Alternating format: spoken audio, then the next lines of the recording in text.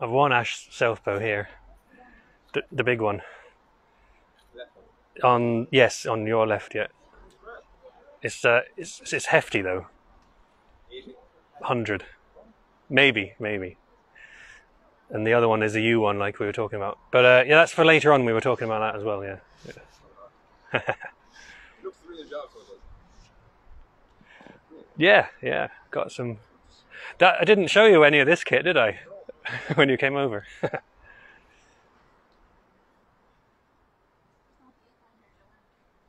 oh, the viewfinder's covered. Okay, we're live. Excellent. Well done, everybody, for getting that live. So, uh, welcome to the Living Longbows. That's that's my name there. I'm Jack Pinson of Living Longbows, and I've been invited by Athlone Castle to come and give a talk about historical longbow making, 15th century mainly.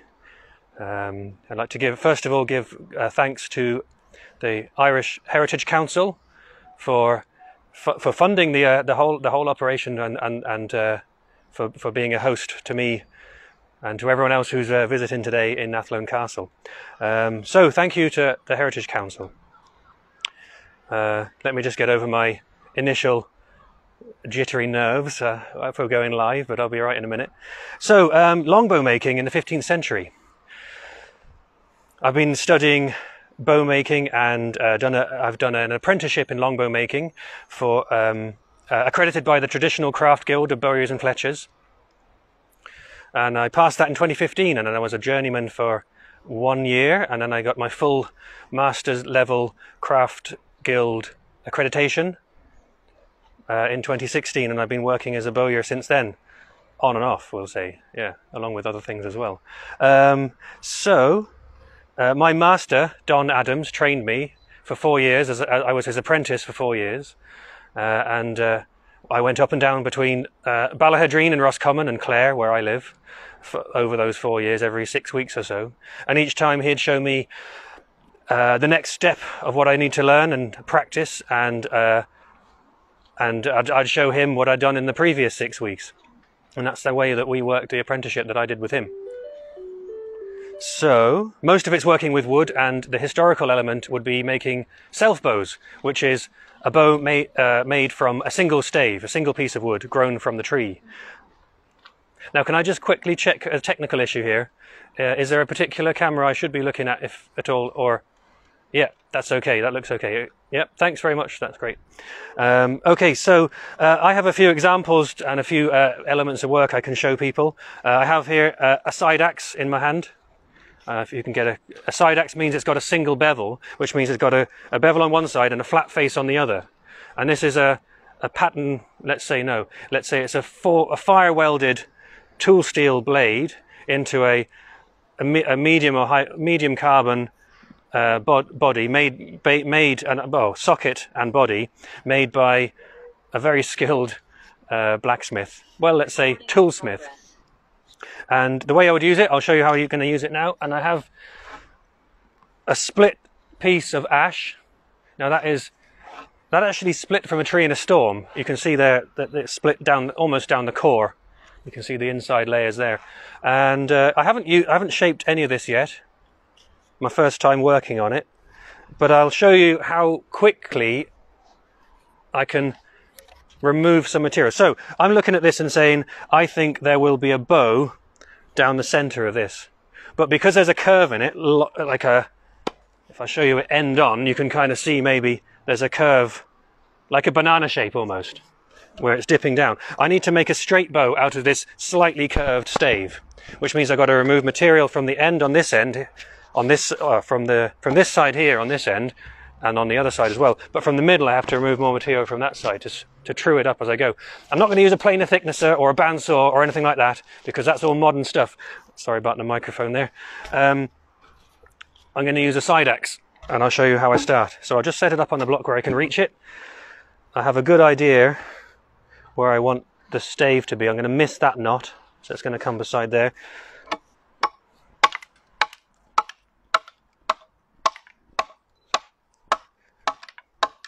Sorry if you're in the firing line.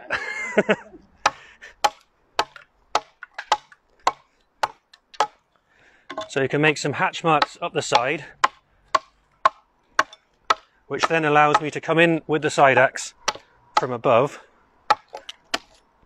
and the shaving will, will peel away just like that.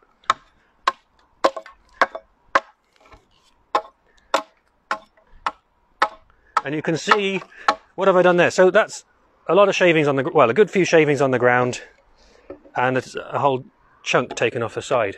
And what was that? You can probably look in the timestamps and see it was maybe 40 seconds or something.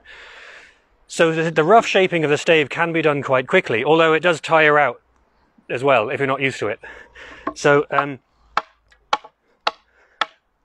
you can, yeah. Once you, once you, you once I uh, employ this technique of making the hatch marks here, that allows the shaving to curl away and stop the axe blade binding up into the surface. Like it's just beginning to do there, so I might come down below, loosen that up a bit, and then take it off.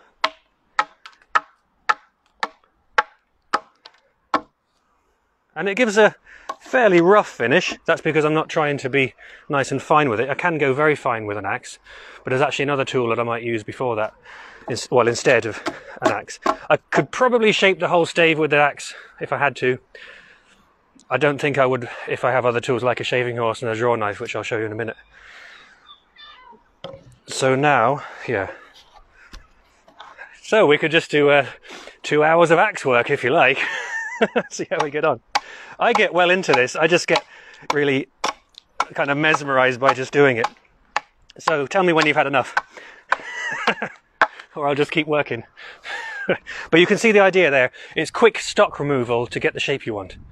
Um, uh, and uh, okay, in modern day we might use different tools like uh, machine tools, like in a, in a woodworking shop. But uh, historically, that wasn't available.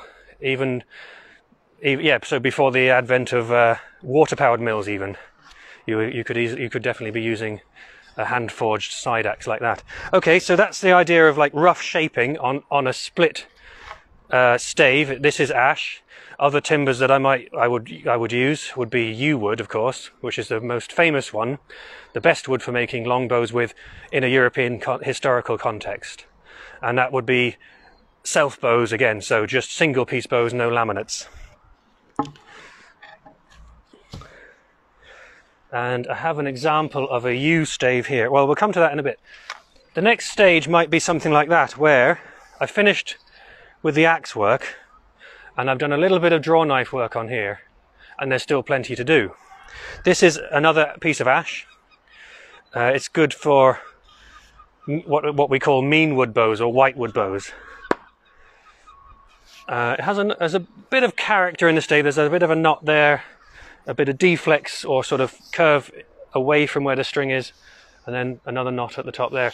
But that's all stuff that, as the tree grows, I have to work with it, work with the timber, the shape that it grows in, and not induce weak spots by cutting off uh, areas where there is a knot or a twist in the grain. I've got to go with the grain and, and use use all the strength of the material. So if there is a knot in a certain place, like here actually, I've, I've been able to position that larger knot, I don't know if you can see that closer up or not, um, in the center. And the center is where there's almost no bend. There's a little bit of bend, but not very much, because both the limbs are doing all the work. Uh, this will be a full compass bow, which means it will bend all the way through the whole length of it, as opposed to a target bow where it has a riser which doesn't bend, but that's the more modern uh, style of bow making, longbow making. Um, yeah, so uh, I'll show you then the draw knife stuff. So that's over here on the shaving horse.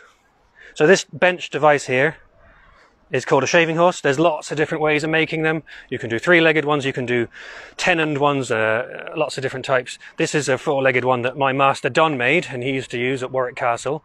Um, and so he's, I have it now, uh, thanks to him.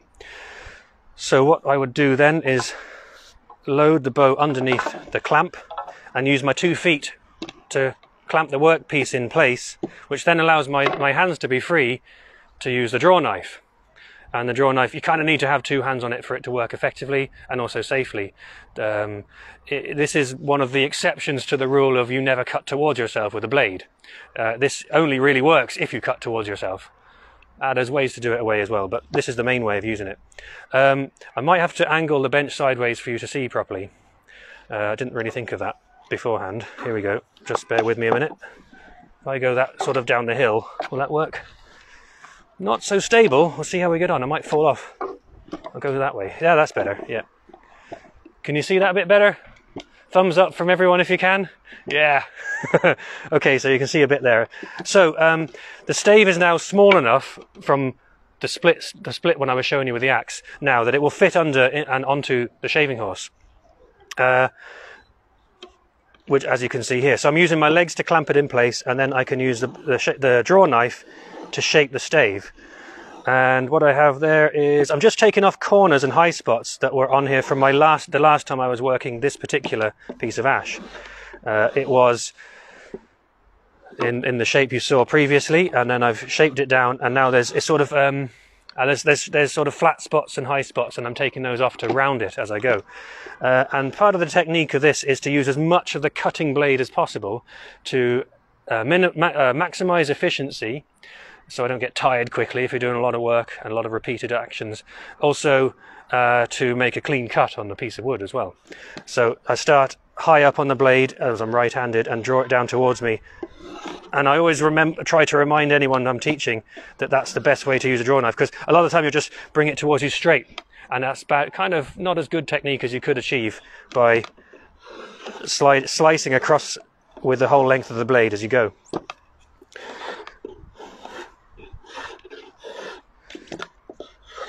part of the shape of the bow. Okay, so yeah, the reason that it needs to be a certain shape, so narrower at the tips and thicker in the center, is because when, when I'm shooting a bow, I hold it in the center and I'll draw it back. And the pivot point is the handle, and the, uh, uh, the um, let's say, the, the parts which are moving are right at the tip.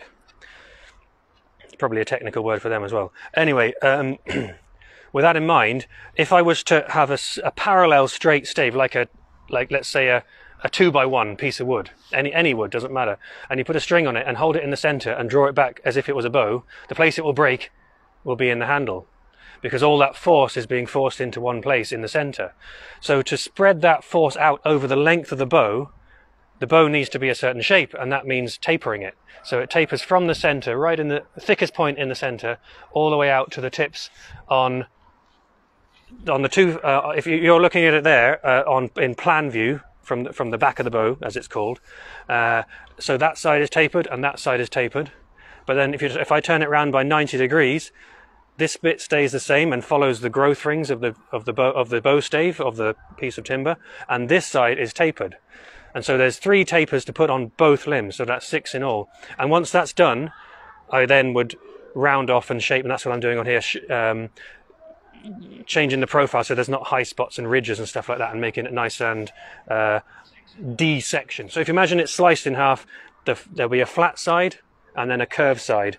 And the, the name for that is plano, plano convex, or it would also look like a capital D if you look at it, looked at it in cross section.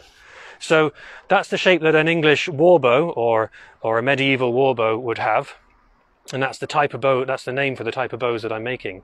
Um, English longbows is what it's called. There's also American flatbows, and there'd be another type of longbow, but uh, again, different geolocation to what we have here in the Athlone Castle context. um, there are other sorts of longbows as well, like the Japanese Yumi asymmetric bow. They would be a longbow of sorts, but it's a totally different thing. Uh, well, not totally different. It still shoots an arrow a long way, uh, but it's very different to a European style bow. So the reason they're long is because they're made out of a single piece of timber, hi- historically and traditionally. The the length of the bow is usually has some bearing on how far you can draw back the bow. Oh, I haven't actually shown you drawing any back yet, have I? I should probably do that. but anyway, this is the making part. Uh, so the next stage on making would be to put a string on a bow. Now I uh, put a string on and start to bend the bow. We'll come back to the designs in a minute. Um, here's a yew stave, which I've worked on a bit more. This one is currently tillering out at tillering. I'll come to that term as well. Tillering is, a, yeah, so it's 103 pounds draw weight at 28 inches of draw length. So that's quite strong, we'll say. Yeah. Uh, it's getting a bit damp there. So it's yew, and the reason yew is preferred for longbow making is because you can incorporate the sapwood and the heartwood in the bow. Oh, come here, bowstring. To achieve a high level of elasticity. Uh, so I have I have little grooves carved in the top of, and bottom of each nock. That's this. These are tillering nocks, so temporary knocking positions that hold the string in place when the bow is braced. I'll see if I can brace this now. It might be. I haven't done it for a while, so it might be on this one. Might be a challenge. So I uh, I have a loop in the string at one end. Can you see that's braided in, twisted into the string? So this is a single loop Flemish twist string, is what it's called, and that'll go over the top of the top limb I know it's the top because that's the center line and that's the top of the handle and that's the bottom of the handle. It's offset slightly. So I can tell at a glance which way is up and which way is down. I'm going to brace this at a low bracing height because it's a bow still in production and not fully tillered. It'll go to 30 inches eventually. And tie a timber hitch in the bottom of the string at the bottom nock. And just to gauge the position, I'll pinch it there. A timber hitch, yeah, you can look up, look up how to tie a timber hitch. It's a very useful knot. It's also called a bowyer's knot, but uh, yeah, it's another way to do it. Uh, it means that the string is adjustable in length without having to add twists into it, uh, which is a bit more efficient. Although people say it can slip, especially around modern recurve bow nocks and stuff like that, so we don't really use it on modern bows. So then bracing the bow, I stand with my feet about that far apart, anchor my elbow to my hip there, hold the bow in the handle, not here, uh, that, that'll break it. You've got to hold it in the handle, and then push and slide with the top hand and it's in. And I'd uh, just quickly check that the bottom hasn't come out there as well. Sometimes it can. And so that's the bow braced up at a low bracing height. Now, you eventually, when it's finished, it'll come up. The string would touch my thumb in that position there, and that will give you a rough idea of how far away the string, the bracing height from the belly, this here, to where the string will sit. But I'm not doing that yet on this stave because I'm still training it, or tillering, if you like. Now, how does that look? So what I've done here, I have tillered this bow, and the tillering, the word tillering is what's used by bowyers to describe uh, um, how the bow bends and teaching it to bend. Tillering, yeah, as a verb and as a, yeah, I suppose. Let's not get into the grammar too much. Okay, fine. Um, so I have drawn this back to 28 inches before, and I have, in my workshop at home, I have a wall at the back of my workshop with a peg in the middle of it and a totally blank wall, so eight foot by eight foot square. And i will put the bow on the peg there and hook a string onto the bottom and draw back through a pulley with a string with a rope. Uh, draw back the bow from the center like that. So basically simulating the bow being drawn as it's being shot. However, I don't have that luxury here on a campaign art uh, bowyer on campaign sort of setup. So I have instead a tillering stick which is a mobile device for checking how the bow is bending. I'll show you how that works in a minute. But first, let's see how this draws back. And you can tell me in the questions and the comments uh, what the tiller looks like right now. It might be out, it might not be, but you can check. So the tiller, what you're looking for is the each limb is bending throughout its whole length, and that both limbs match each other fairly closely. The bottom limb will bend very slightly less than the top limb because it's very slightly shorter than the top limb. And that's deliberate to give the bow good harmonics when it's released. So I put three fingers on the string, roughly where the arrow will sit if I were shooting it. Oh yeah, that's pretty strong. I'm not trained to 100 pounds. I can do 80, but I can't do 100.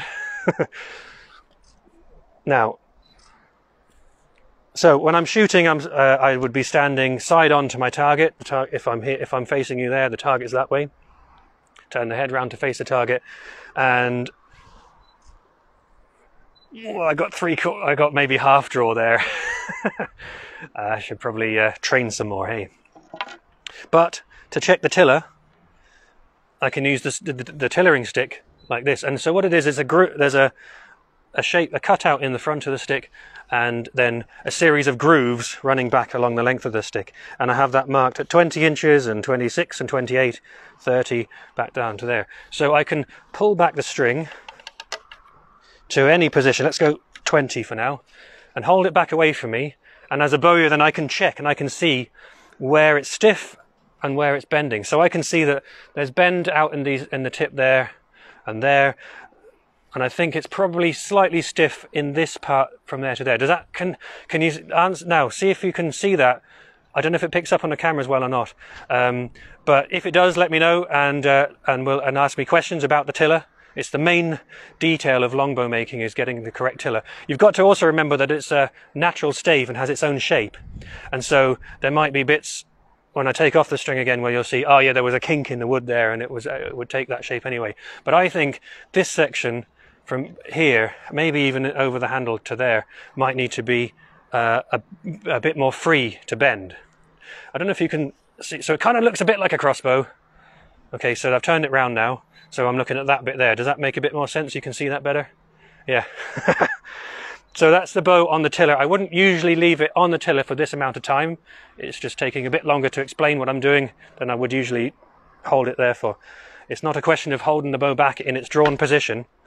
It's more a, question of a quick check, a visual check to see where it's bending and where it's not, and then exercising it by drawing it back and releasing just like that. Not releasing, sorry, no, letting, uh, coming down as they call it. That's the word for not shooting the bow when you're at full draw, just coming down gently again.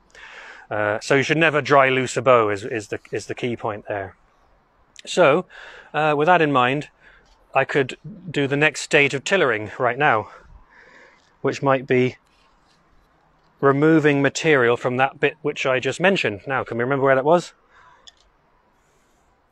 Just above the handle from for about there. So I might just put it in here and shave a little bit off, not too much. Another uh, way to do it could be with a, a scraper, a knife blade and a scraper, but I'm just going to take a little bit off with a draw knife first.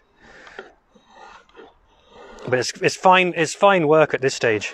Another tool I could use would be uh, a bowyer's float, it's called, and it's what we might know today as a rasp or a surform. I have an example of one here. Uh, I've got to turn this way around for the cable. So there is a small example of a, a bowyer's float. It's actually made from a hoof rasp, uh, and the the end has been drawn out by a blacksmith and curved to be comfortable in the hand. I'm I wouldn't use it on this actually right now. I've already gone past the stage where I'd use that. It's quite coarse, but I would use it on, let's see, uh, on the ash stave we were looked at earlier. Let's do a bit of that so you can see what it looks like.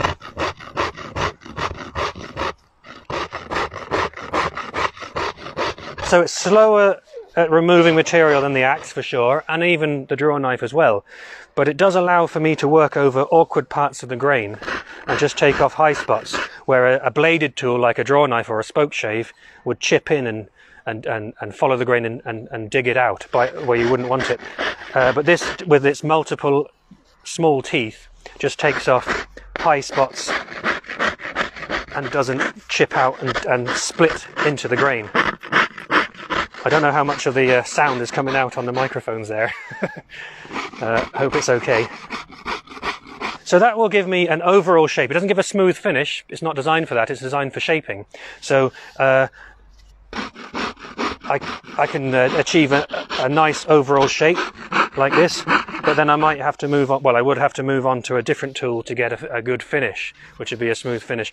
On the the best examples of, of let's say Tudor era bows that we have currently in existence uh, are the Mary Rose longbows, which were found on the Mary Rose warship, King Henry VIII's flagship vessel, sunk in the Battle of the Solent in 1545. Um, preserved in the silt under, uh, in outside of uh, off of Portsmouth in the UK, uh, and a lot of those bows show example uh, show on the surfaces tool marks, as if they're not finished. But we kind of know they were finished as far as as far as archaeologi- archaeologists and uh, experimental archaeologists and reproductions can determine. They seem to have been finished bows in chests on the orlop deck of the ship. Um, but they still have bits of tool marks. They don't have a high polished finish like we might see on modern day target bow, traditional and historical target bows. Uh, it was a, a, different era where that level of finish was acceptable, I suppose. Functionality was a higher priority than high level of finish. So they were definitely functional, let's say that. so then you come into the idea of what were they, what was the purpose of this piece of timber made into a bow? And really it came through, it was a weapon of war. It was for use against people. And buildings, but many people and horses, I suppose. So, um, the, I suppose one of the well, the era where they were most uh, were most prevalent in warfare would have been the during the Hundred Years' War and the Wars of the Roses, and that was very much focused around uh, France and England fighting each other, and then a civil war inside of, of the Kingdom of England, which at the time Ireland was part of. Uh, which a lot of people maybe don't like, and that's fair enough. And then we won't go into the politics of that right now. But it was uh, part of during the um, the so let's say 1330s all the way th- so 100 years war is up to sort of um, 1540s 1540s let's say and then going on from there up towards well, actually, uh, uh, it was up to the Elizabethan era. The, the, the, long, the longbow was still on the, the, the armaments, uh, the official armaments uh, statute or books or whatever it is what they have with the army. I can't remember the, the title for it. I've so, someone in the audience who might remember, but we'll uh, come to that later. Um, so it was an official weapon of war for a long time after firearms had uh, hand, single-use handheld, individual use handheld firearms were uh, in operation. But uh, in the Hundred Years' War and in the Wars of the Roses, it was mainly used as artillery, uh, as an artillery weapon, to um, mass cover areas of a battlefield where the opponents were marching through or advancing into. Uh, uh, used uh, individually in a sort of a sniper setup, as you might see it today as well, but a lot of the time pr- primarily used to great effect when there's uh, several thousand archers raining heavy arrows down on on an appro- approaching mass of, of the opponents of the opposite army. So Agincourt is the most famous example, let's say. We, ha- we have a bit of an interruption for the moment for the sound, so uh, I'll just do some stuff instead with the axe. and uh, excuse me, I've got to turn around that way. In the meantime, see if I can drown out the helicopter with a with a nice bit of axe work.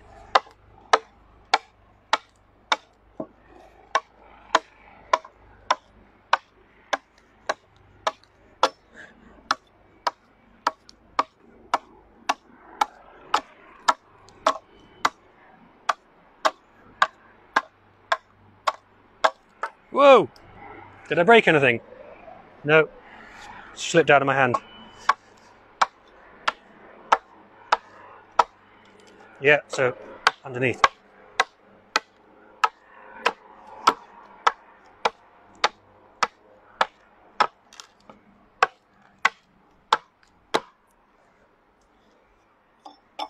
Can we hear again? Helicopter's gone. I'm sure they were doing something very important. Where do we get to? Arrows and their use of the longbow. I have some here. So the, the question might be something like what, what sort of arrows were being shot and how far could they be shot? And here are some examples of the types of arrows. These are replicas that I've either made or acquired through various means, been given or bought or whatever. Um, and they're all as close as I can get to, to replicated from the era of the use of these bows. So we have hunting arrows, arrowheads in here and also military arrowheads as well. That one is a is a target arrowhead, and it's a Mongolian style one. So we'll put that aside for now. Very nice it is too. Made a horn on the end of it. Um, then, so these arrowheads would have been uh, created, crafted by uh, an arrowsmith, who would be a specialist blacksmith. Uh, there's some nasty hunting ones. The ones with the barbs on most of the time are hunting arrowheads, and you can see a few examples there. Can you see them okay? They're pretty nasty. If you can imagine them being driven into uh, an animal, because that's what they were for, uh, by a heavy bow, and they, they're not coming out again easily because of those barbs. Uh, not so effective against any level of armor. So, for example, my colleague back behind me there, he's been very good, he's been very quiet. Uh, these arrowheads are unlikely to penetrate his level of protection that he's wearing. So that's uh, a padded gambeson or acqueton underneath, and then a mail shirt over the top. Uh, so his vital organs are well protected from blades, let's say, bladed weapons like an arrowhead or any other kind of bladed weapon. Um, or well, a bladed weapon that's quite wide, let's say. So I'll put those aside for a minute because then you've seen them uh, over there. So the next thing then is how do you get through that development in armour of the, the mail?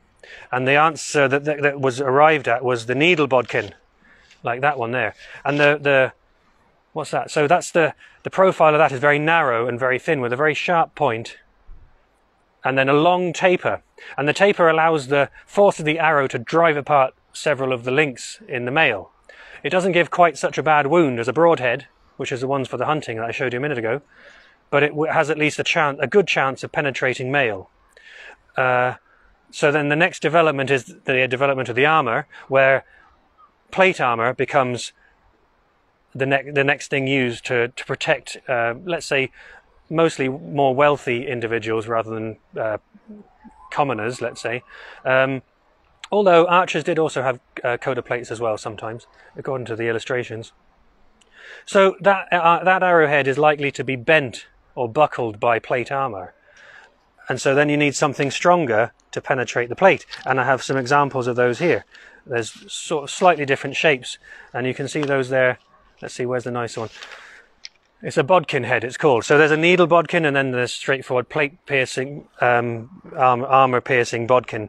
And that's uh, a shorter head profile, so it's stronger overall, and has a chance then of penetration any well depends how it hits. It has a chance. We don't there's continual tests about armor piercing or not piercing or how does it work and how do you set up a, a test to check if a 140 pound warbow can drive that point through um, medium carbon or medium carbon steel armor that's been shaped correctly and, and well forged. And yes, yeah, so shape has a big part of the armor defense as well as the metallurgy of the of the material.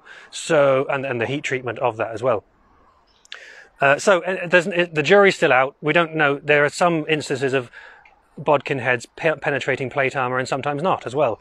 Uh, and lots of different tests that show different examples. But a lot of the time, it's not necessarily about the penetration of the arrowhead into the opponent. It's more about what that amount of arrows from those several thousand archers shooting one arrow every 10 or 12 seconds, or 15 seconds if you want to be generous.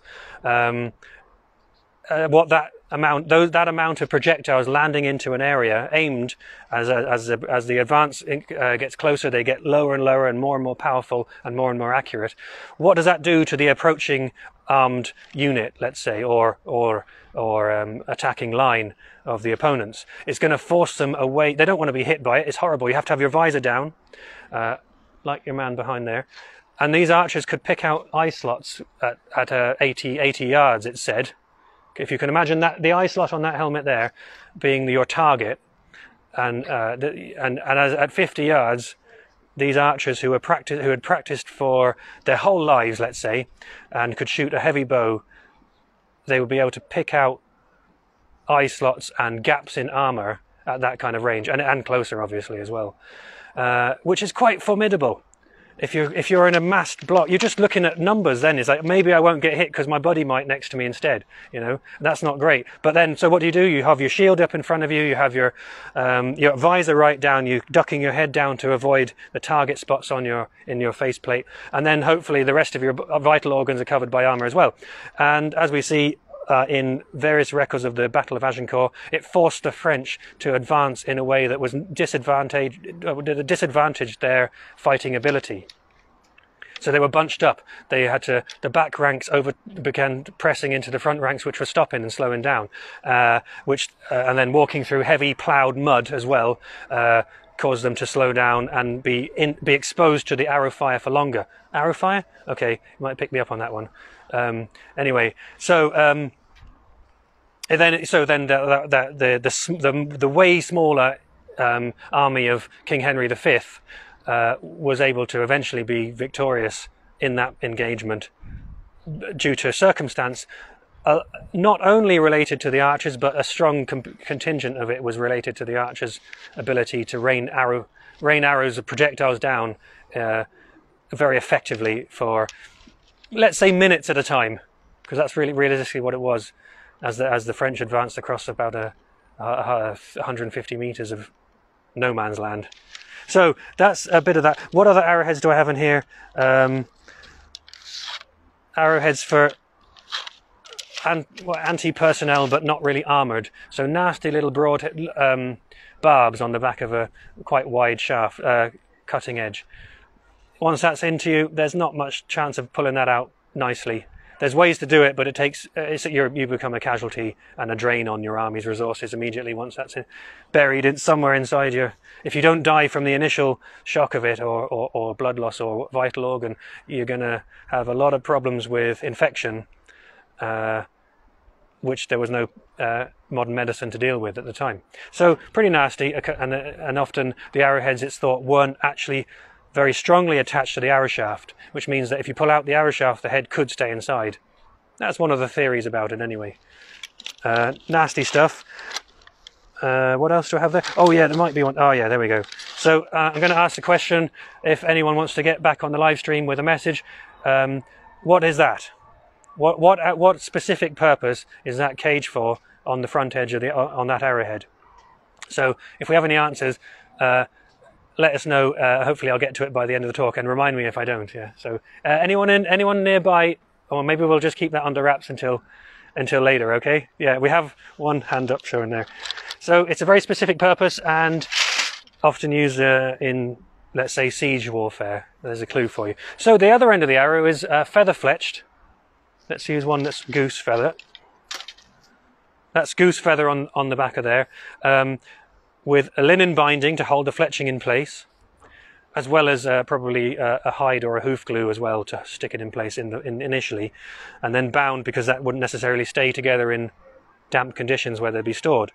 Uh, often over the top of that would go copper verdigris paste to preserve the binding and the base of the quill and to stop it being attacked by mites, let's say, because uh, that was one of the issues that they had storing arrows, and they were made by the million in the medieval era, if you can imagine that, uh, and stored in advance of a campaign being uh, uh so Edward III uh, in the 13 in the 1330s and 40s uh, ordered hundreds of thousands and then eventually millions as it as it uh, accumulated of arrows to be made over a series of years in workshops around the, the whole of well, not quite the hot. no, in various places around as it is England and Wales and Gascony today.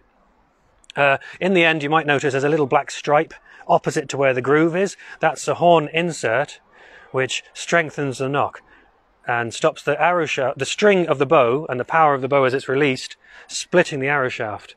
Uh, and so, yeah, horn's strong and dense and has a cross grain structure which doesn't split very easily.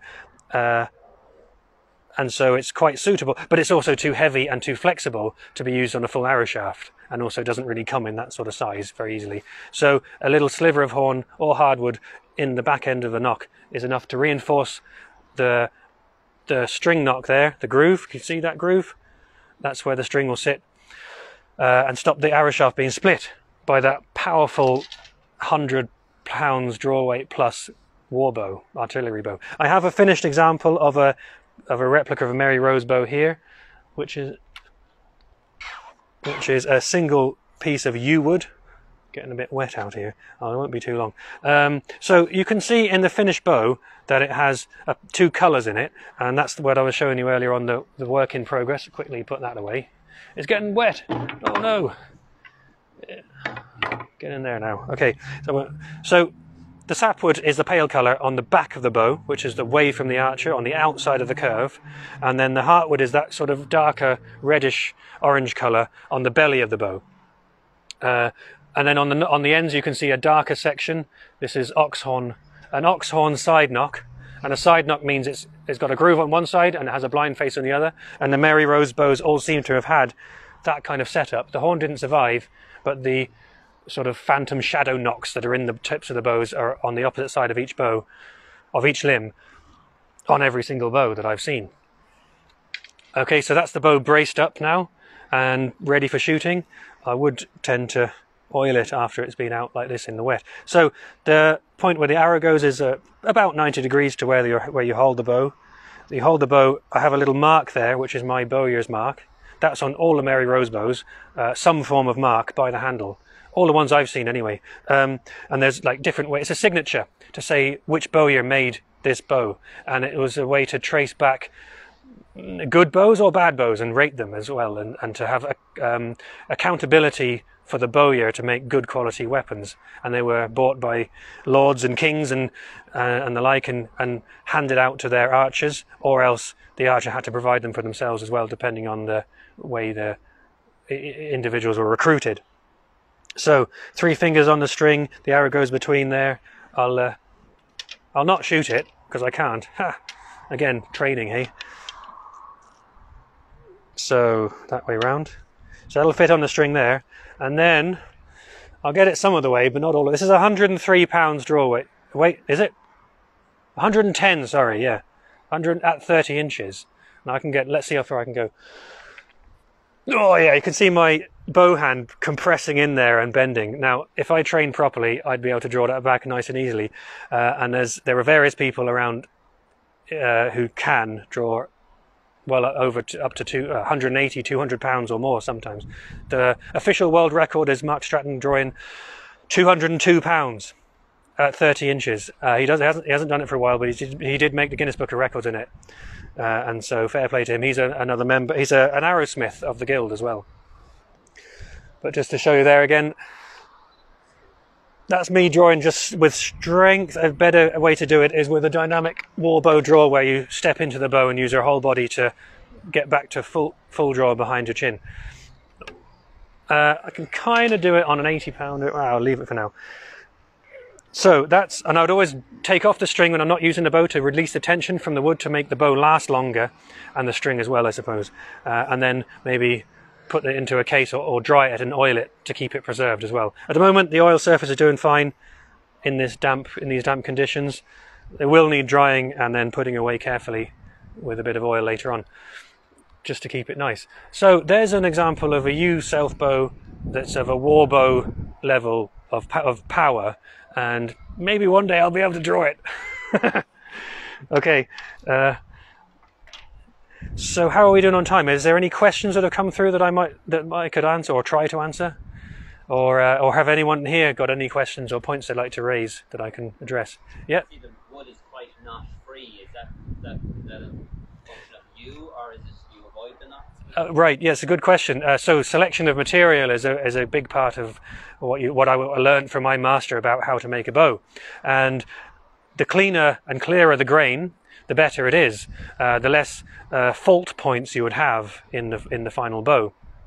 Um, so yeah, um, I'm always on the lookout for clean, clear, straight grain on yew or ash or elm or fruitwood, laburnum as well, and hazel.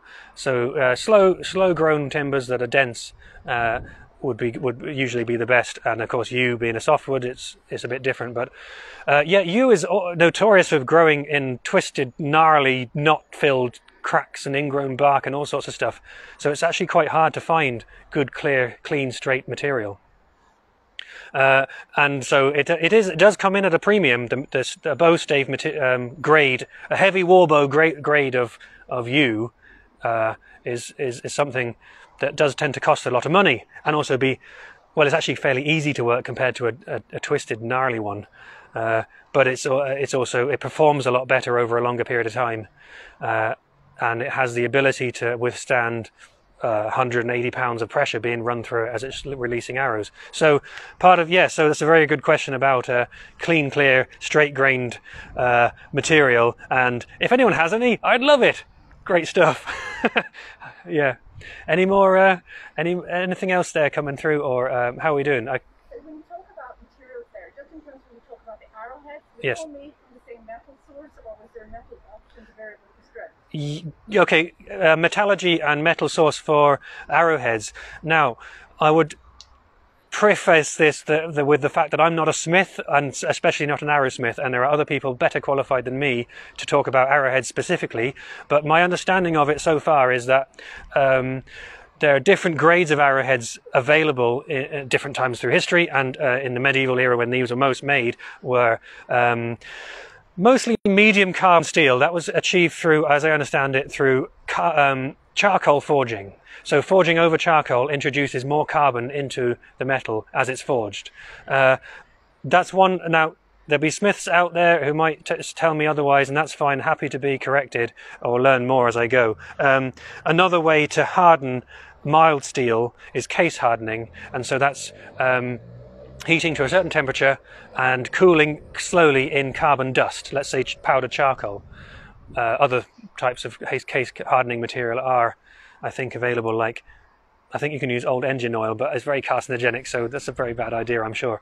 Uh, so yeah, so case hardening was one way to harden mild steel, as I understand it, and then using a medium, medium carbon steel through the production of of iron into steel, and then the forge work itself as well uh, on charcoal. Um, that's how I understand it. Now, there's a whole method to making those. Those are mostly, oh, well, the medieval ones are, are socketed, uh, which means that they had a sort of a flared out fishtail. I've made one arrowhead once with it, uh, so I have done it, but like not as a profession or anything or any kind of detail.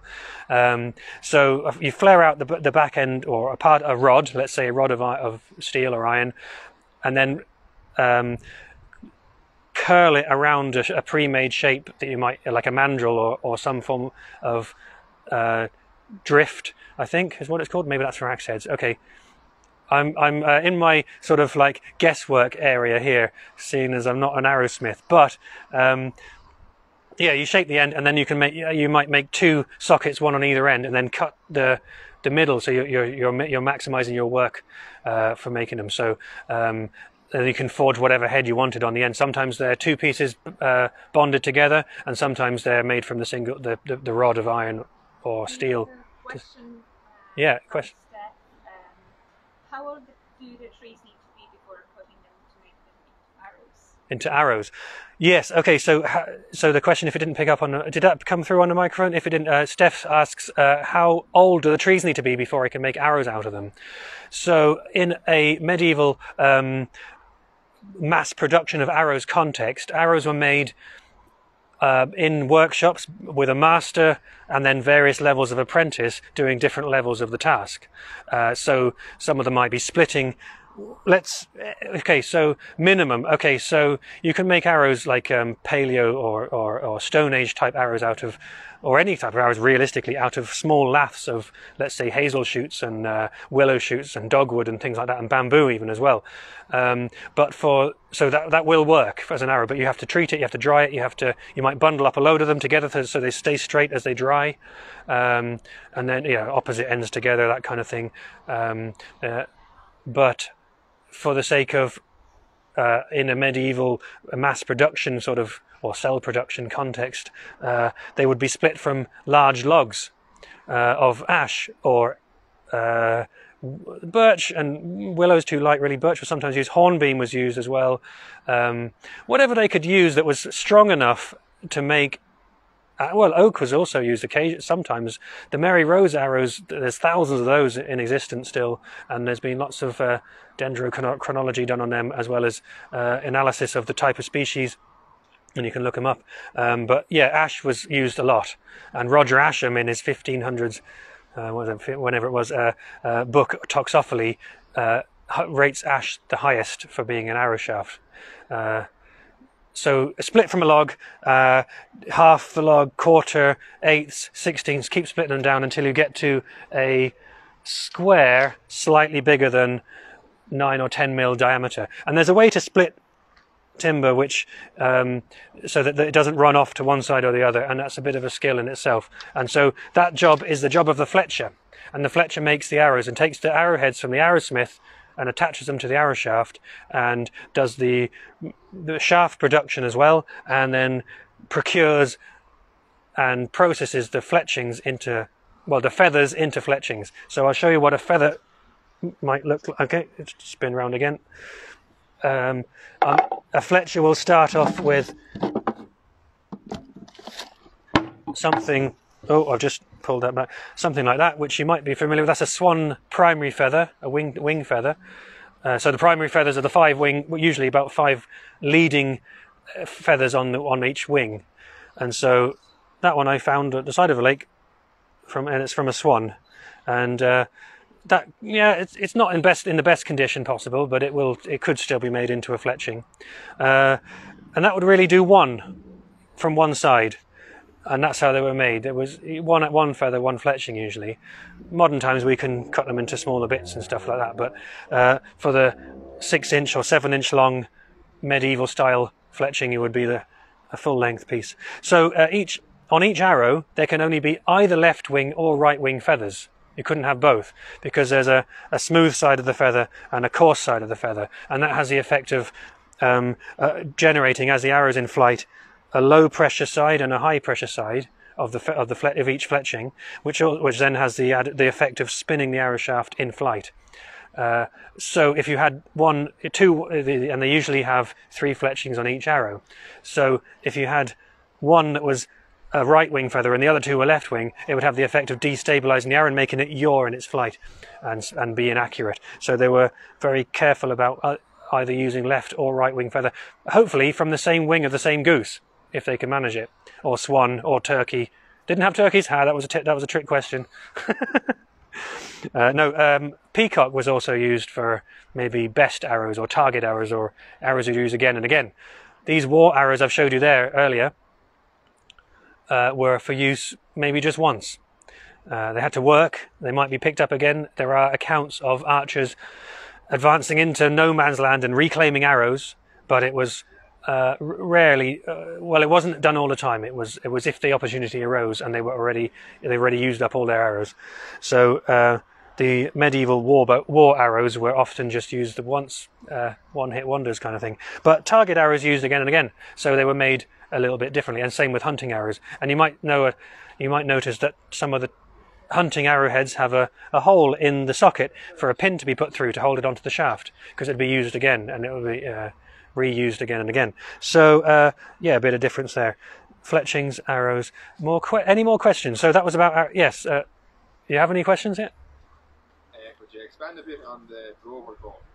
Man couldn't a bow. Yes, yeah, uh, uh, that's right. So, um, a question from the audience there: um, What is a drover's bow? Uh, um, a drover's bow, as opposed to a war bow, is a very similar type of bow, a, a, a self bow, full compass design, which means it doesn't have a handle riser, an extra thicker part in the handle, um, but of a lighter draw weight, and maybe something that a, a, a drover, you know, so that's a sheep or cattle drover, someone who might be uh, out in the fields grazing flocks for a period of time, several a month or three at a time, something like that over a summer period. They might need a bow to, let's say, feed themselves a bit and also drive away predators if possible, if necessary.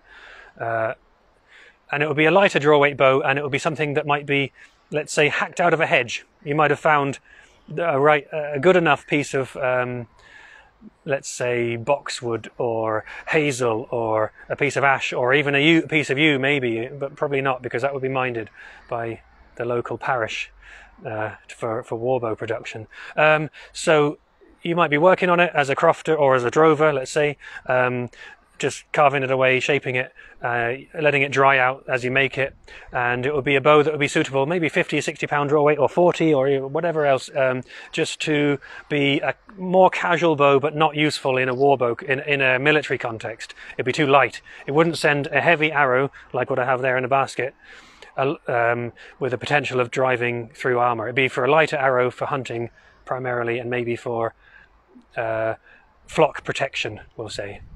Uh, yeah, so drover's bow, much overlooked category of historical bow, very similar to a war bow, but just lighter, ideally, mo- mostly. Yeah. Uh, uh, if you want to look up that, look that up further, you can look at Hugh Soar's book, the the crooked stick, I think it's called. Yeah, uh, it, it details drover's bows in there.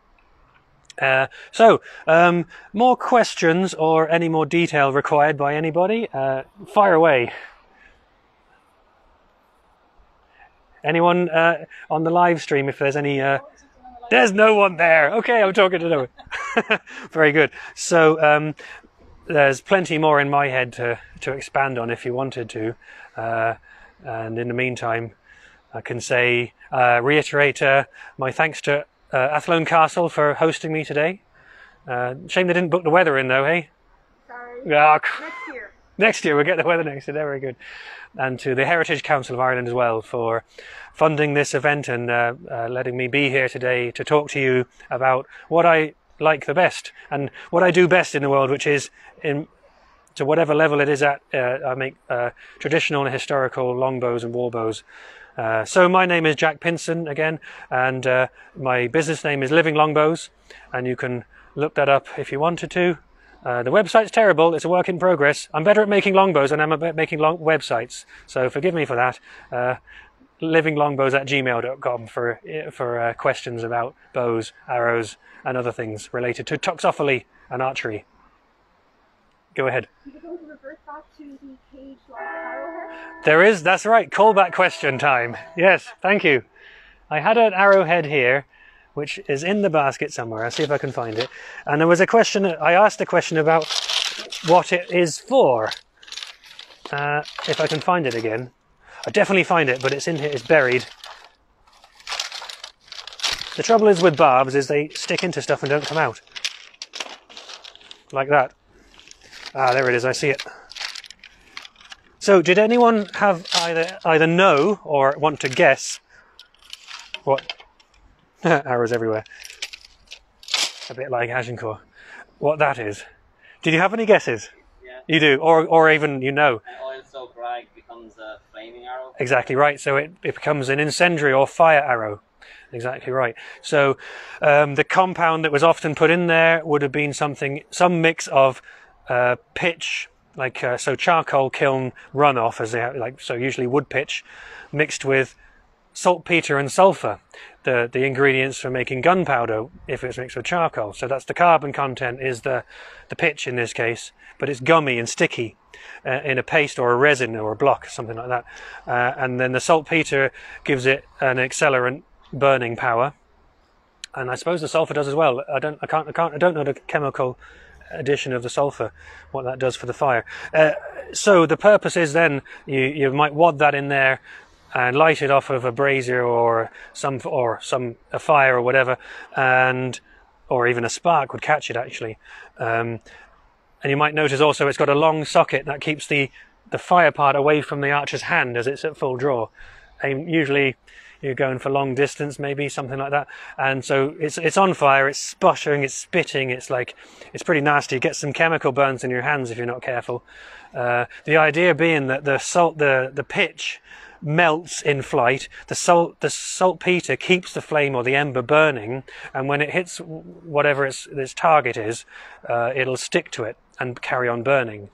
Uh, and so pretty nasty. It'll do, it'll do horrible things to granaries, sails, siege engines, and then of course infantry or horses. But of course, it's not really designed to pick off individual people. It might be launched over a castle wall to where we're standing here to deter and keep uh, to set fire to everything inside if possible. It's not going to work against stone very well, but it will work against carbonaceous material, thatch, timber, uh, cloth, all that sort of stuff. So yeah, incendiary arrow. There we go. Anyone? Did anyone get that? Top marks if you did. There was one person on Instagram, but I'm guessing they're um, they're um, connected. Said they're not allowed.